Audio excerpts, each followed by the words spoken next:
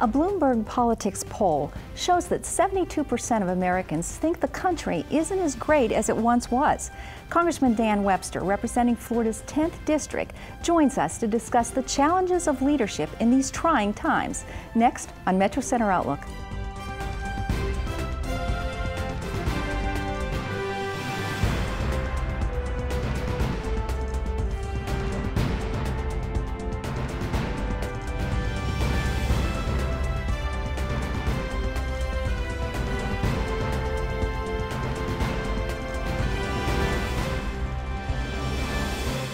Diane Trees. Lifting budget caps, extending highway funding, and raising the debt ceiling are among the items on Congress's agenda this fall. United States Representative Daniel Webster, serving his third term, is with us today to share his insights. Congressman Webster, welcome to the show. Great to be on, Diane. There has been a flurry of activity in Washington with the resignation of Speaker of the House John Boehner. You are interested in that position. Why do you feel that you would be a good fit for that role? Well, first of all, I, I, served as Speaker of the House in the state of Florida, a big state, complex state, and uh, and also I was able to transform a lot of the things that were done the typical way a, a legislative body uh, works, and and and make it a whole lot better, a whole lot uh, more united, and so forth. So what we were able to do was say we want to move from a power-based legislative body, which is where most legislative bodies are, including Congress, and that is a few people at the top of what we'll call a pyramid of power um, that are members make all the decisions. And uh, what I wanted to do and what I was able to do in Florida was push down the pyramid of power, spread out the base, so every single elected member could have an opportunity to offer an amendment, to speak, to offer a bill and participate in what uh, is called the legislative process.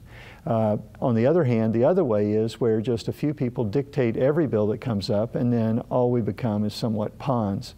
And so that's that's what I want to do. And so I call it member driven also because the members get a, get the the opportunity to be totally in charge of what's going on as opposed to just again a few people. Right. So it's member driven leadership and the fact is that you had implemented a similar style of that leadership while you were speaker in, in the Florida State yes, Legislature. I did. Correct. And there were a lot of advantages to that. There's talk of, of of naming an interim speaker. Um, how do you feel that is that a good way to go, or do you think that we need to have the speaker named and and this chaos a little bit more stabilization? Which way is better? Well, uh, uh an interim speaker is going to be a lame duck speaker because the, the race will go on for the quote real speaker. So nothing's going to settle. Nothing would settle down. The, the race would continue on. You just pull one person out of it, make them speaker, and you still got yeah. all the people running yeah. uh, to be speaker uh, for the next term, uh, which would start in January of 2017. So it would be far better just pick somebody, right. and I think that's what we're going through right now. And move forward. What's the next step for you here? Well, I'm trying to convince members that I have the best plan and, the, and would be the best person right. for the job. Right. And that's just uh, nothing like nothing different than campaigning. You're going sort of instead of door to door, you're going office to office and uh, phone call to phone call, just calling the members. Uh, there is uh, certainly a smaller select group of members, but they have a lot more questions right. than the general public. So and you can't do it by mail. You got to you got to go see people and right. talk to them and, and convince them it's the right way to go. And I think that's your style anyway. You're a more person to person kind of. Yes, and, over the years and, I've and I'm trying that. to. I'm my the thing I'm talking about is transforming. Uh, not just making a few changes here and there, or may, even keeping it the way it is. Right.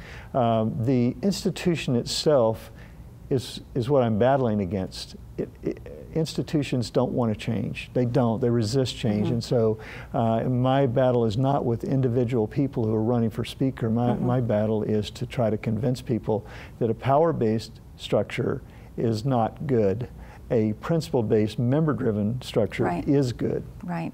Let's talk a little bit about your past experience. I'd like to tap into your expertise. We have had a contentious situation here in the Florida State Legislature. You have 28 years of experience, leadership positions in both the House and the Senate. We've had our House walk out of a session, we've had the inability to reach compromises. Is this healthy discourse? Is this part of what makes our government work? Or is it tension and disruptive. What do you think about this? Well, there's nothing wrong with the debate of ideas. I mean, that's, that's part of the American opportunity. In other countries, there's only one idea that prevails, and anyone that has another idea mm-hmm. uh, is, in, in some cases, punished right. for having that idea. So I think it's good to have a debate, a discussion. However, um, it's, it's far better to have it uh, together as opposed to sort of uh, this division that happens, and then maybe the two leaders get in a discussion that's that's not it becomes a public discussion as opposed to actually working out the right. differences. Right. And so uh, again, nothing wrong with having a position, nothing wrong with debating that and holding on to that, but there comes a time when uh, the uh, the principle of just what's good for the state comes into effect. And I'm not saying what it, which one which side would be good for the state, but if there's a session and it's called, you should go and you should work to the very end to try to get uh, the answers that you need. And if you don't, then there are provisions. There are provisions for there to be di- so much discourse that, or di- dis- disagreement that there might be a need for a special session, and that's all there. The governor can call that, or the two presiding officers right. can call that, and they come and, and they work out the differences to me, that's, uh, that's the way it is. I think that you have to have a plan that starts at the end and works backwards, as opposed to uh, starting now and working forward and hoping it works out. It never mm-hmm. works that way. Mm-hmm. So I found when I was presiding that the best way to do it was say, okay, here's the end goal. This is when we have to quit. Now, what are the deadlines we have to meet in order to get there going backwards? And I think that would, what would solve right. a lot of things. Right. Sometimes uh, we allow the membership as a whole to remain in the discussion for too long. Uh, what, what, we had, for instance, the appropriation process. What we would do is we would let the committees and the conference committees work out the differences. Then any major issue that they couldn't work out, that would, that would kind of bump up to the subcommittee chairs then they would only have a couple of days. And if they could not work them out, then would move to the big chairs of the committee. Right. And then a few days later, it would be the two presiding officers. And doing that, it, um, it, it allowed for um, most of those issues to be dealt with by the general membership. But if it couldn't happen, then would move up in authority till you got to the presiding officers, and then they should be able to work them out. Shifting back to, to the federal level, we just had the fiscal year end um, budget crisis, which is still not resolved. You're talking about your member based leadership versus a power based. How might this affect um, the, the, the last minute issues that come into play that seem to hold our budget hostage. Would that make a difference, do you think? It would. The key difference in what I'm talking about is taking up the most important issues first.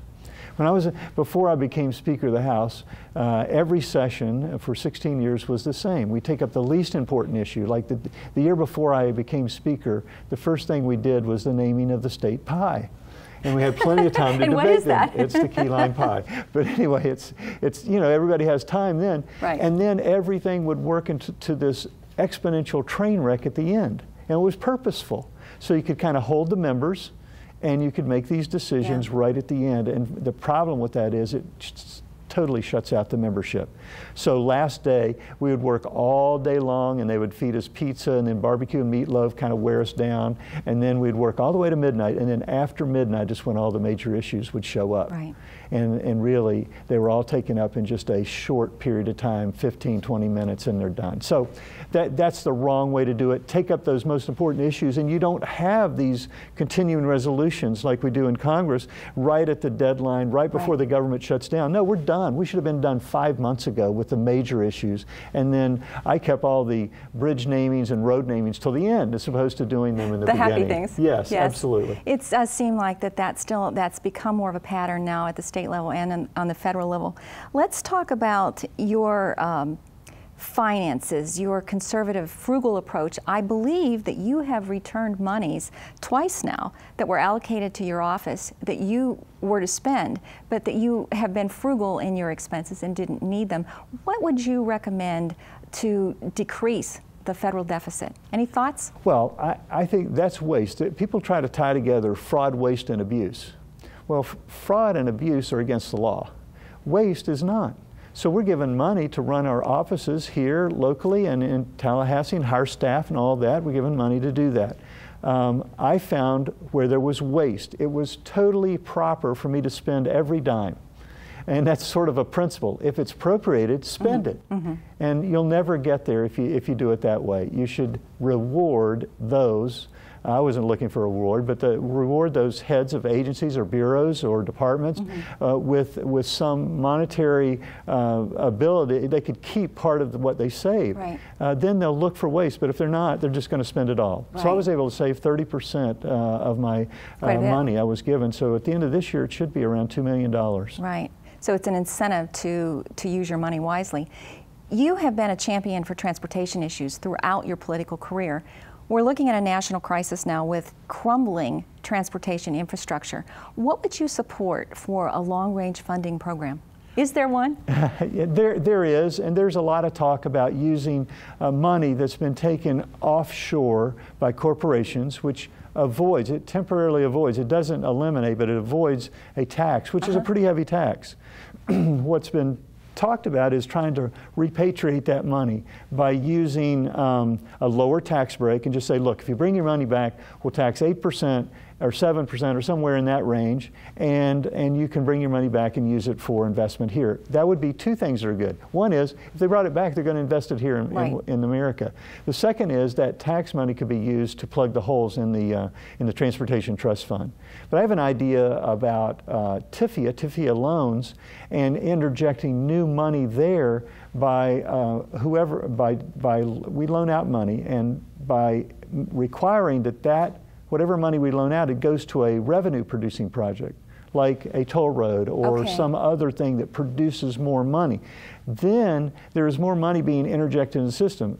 We loan money on TIFIA, but it could be paid back with just existing revenue. All it does is advance the project, but it doesn't really put any more money in. Eventually, they're going to have to pay that back.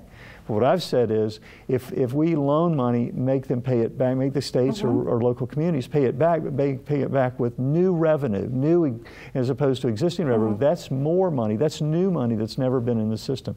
And that's, uh, I think that's going to happen in this next authorization bill. Is that, did, was something similar done with the Wekiva Parkway? Was that financed? Well, it, it did get, yes, it was financed about $173 million at a low rate. Right. It's a low interest rate. Um, it's called the rural rate that they use and it, it actually advanced that project by several years and, um, and lowered the amount they'll have to pay back by a huge amount. Huh. Okay, very good. We're going to take a short break, Congressman. Great. Stay with us. We'll be right back.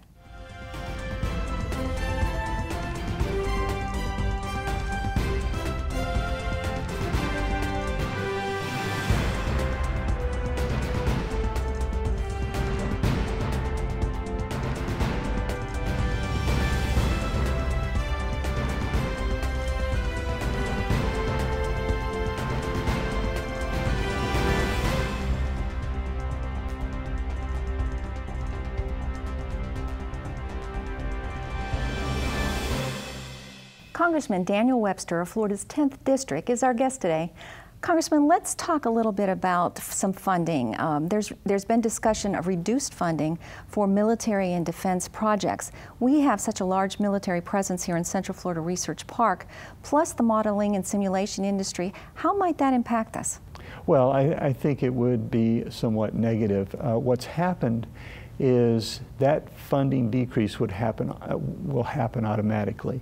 It's called sequestration, and it was a it was something that was passed several years ago to say, okay, if we don't come to a particular uh, way to reduce the deficit, then there's going to be an automatic um, uh, sequestration or holding back of funds mm-hmm. in certain areas. Defense was one of those areas.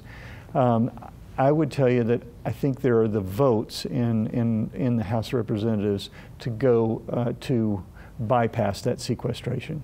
Um, and to continue uh, funding defense at a, at, a, at a, certain level, as opposed to allowing it to be reduced. Right, that's critical for our area economically as it well. It is, and a lot of other areas too. And there's a lot of people that want to um, uh, just keep the funding uh, in, a, in a way that would uh, avoid what, what's called sequestration. Right. And I think that's going to happen. Let's talk a little bit about another area, entitlement programs. There's discussion of diverting funds from some of them, um, specifically with Medicare and Social Security. We have a large senior population, again, in our state. Um, what are your thoughts here? What's going to happen? And I know you can't predict, but but what do you think? I think I can predict on Social Security. I think we're going to keep our promise. Okay. I, I, do not see us doing anything that would hurt the people, the seniors that are on Social Security. Mm -hmm. They mm-hmm. depend on that money. They've counted mm -hmm. on that money. They paid into to the uh, the fund as the, when they worked, mm -hmm. and they deserve to get what they were guaranteed. And so I think that's going to happen. As far as Medicare, uh, one of the problems. Uh, a lot of people talk about Obamacare. They don't like it. They do like it. The subsidies that are given out come from a, uh, an amount of money that's been taken out of, uh, out of uh, Medicare. It's about $750 billion is going to come out of mm -hmm. Medicare to pay for those subsidies. A lot of us have voted a couple of times to get rid of that, to not take mm -hmm. that mm-hmm. money from there. Uh, and so, and then there's this uh, independent payment advisory board, 15 panel board that doesn't even include uh, medical doctors that are, eh, that are in Washington that are going to determine certain uh, ways uh, to lower the cost of Medicare, which really is going to turn out to be rationing and and so you may be a certain age and you may need a certain treatment mm -hmm. and they're going to reduce that treatment in that they're not going to give you even though it's qualified and they're not right. going to change anything as far as the offering of that service what they are going to do is limit uh, through other means and regulations uh, the person's access to that service. That's something also I think there, there is bipartisan support to get rid of that, what they call an IPAB, Independent Payment Advisory Board. So those are a couple of things that are out there. I think uh, there may be some legislation that makes it through the House right. that would stop some of these things that are talked about in the, in the area of Medicare. Right. I think you'd probably hear from a lot of people about that if that I do. keeps moving forward. Yes. Let's talk a little bit about foreign policy issues. You, um, Cuba, let's start with Cuba. It's closer to home. What about the normalization of relations with Cuba? We are so close. Do you see this as positive, negative impact for Florida? Well, I think for the country, um, our job is to get the very best uh, uh, deal we can get in our negotiations. Cuba is a known violator of human rights. I mean, they have treated their people in a, a unhumane way. And for us to extend the hand to say, okay, let's open relationship, uh, relationship again, and have uh, you know a presence there, an embassy there, and not get huge concessions on the way they've treated their people was a was a bad move. I do. Congressman, when these kind of deals are negotiated, you know, the, the deal with Iran, and I know that there were two points that you particularly wanted to be included that weren't. Once that passes, how, how is there a possibility to renegotiate, to add anything in? What, what would cause you to support some of these? How do you go back and change anything? Well, I think the one thing is the sanctions that we had worked, and they were they were clamping down in two areas. One is they couldn't they couldn't sell their goods uh, to a whole list of countries, but we would be the prime jewel of that. Uh, second of all, we um, we uh, tied up their money that they had. It was their money. But it was on deposit here and in other places, and it was hundreds of billions, uh, 100, I think 150 billion dollars total and they were down. Their, their operating capital was going down as far as a government, and they needed that money. And because they needed it, we should have been able to just get, especially those two things. One is no intercontinental ballistic missiles. I mean, really, the only place they could fire them is here. I mean, who else is going to be in danger by that except us? And the second is, um, I, I, believe that we should have been able to say inspections anytime anywhere mm-hmm. um, and, and be able to walk in and go to that place and do the inspections. As opposed to what we got was at least a 24 day delay before we, any of the inspectors, none of which are Americans, right. can go in. Second is part of the inspections are, uh, part of the places are off limits, and so the Iranians are going to do the inspections for us and tell us if it was good or bad, which it just seems like why would we ever negotiate something like that. So, so those two things were big. I think they were um, uh, very big to uh, many of the members of Congress. The way you do that is reinstitute the sanctions. Okay, okay. Let's move a little closer to home again. We have uh, a financial crisis in Puerto Rico. Puerto Rico is not a state, but it has big ramifications for the nation. What are your thoughts here? Do we step in to help? Um, does it impact Florida? Is it something we need to watch? Well, if you take a look at, uh, at even what's happened in Europe, um, the other countries were willing to help, but they wanted to see uh, a plan. Right. A plan of what you're going to do differently. Okay, what you've done now hasn't worked, and it's bankrupting, in this particular case, uh, Puerto Rico. And so if, if that takes place, we've got to see something that would be uh, positive towards reducing the spending. And if, if not, uh, I think that's what uh, that's that's the problem. And we're not seeing anything that would actually say, all right, we're going to step up. We're going to make these uh, uh, cuts right. to our spending. Uh, can you help us out? And I think there might be a willingness to help out if that were to take place. Right. So uh, they need a plan of action this is what we're going to do and then do it. There is so there are so many things um, happening and going on. It's not just the resignation of the speaker. When you look at this, you can go from every angle. Um, and I want to come back to another headline that we're seeing all the time. That's redistricting. We had our state legislature not able to reach a compromise. It's turned over to the courts. How does this affect you and your political viability? Well, uh, the way it affects me, one, is, is my citizens keep changing, and we're doing casework and trying to help them out. And so this would be, if uh, whenever this one's enacted, it'll be the fourth district uh, that has been drawn for me since 2010. I haven't been there that long. This is your third term. Yes, and so uh, stability is, is good right. because you, you keep passing these files around to other offices and say, Here's, here are the caseworkers, hundreds of caseworks that you're working on. So that's one thing. Plus, people sort of like to have stability in who their member is. Well, right. I'm your member today, but I'm not going to be tomorrow, right. uh, or I might not be the next day, uh, very, uh, or you might be again. hard to understand. It makes it hard. Yeah. So I think um, you know, hopefully they'll get it right this time. Right. I have to ask you, with all of your years with a distinguished career, what satisfaction do you derive from from doing public service work? That keeps you coming back, wanting to run again and again for office? Well, uh, in some cases, I was able to change public policy, which I, I thought was very, very good, and uh, and you, there's a lot of satisfaction in that. But then, and so that's that happens either in Tallahassee or Washington. Right. But it, locally, there's so many people that you can help.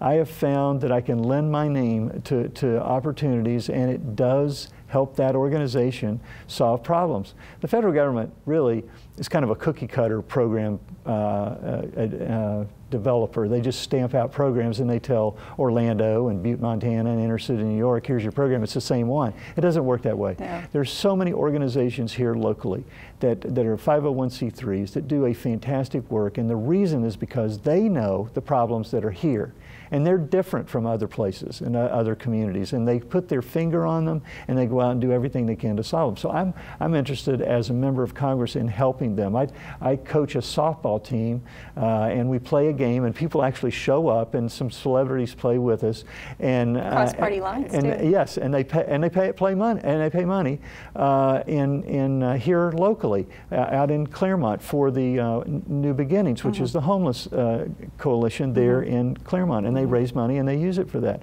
I'm willing to do that if that helps them, and I have to go out and, and do you know, not crazy things, but you know, do something. Deal with I'm some crazy things. Yes, yes.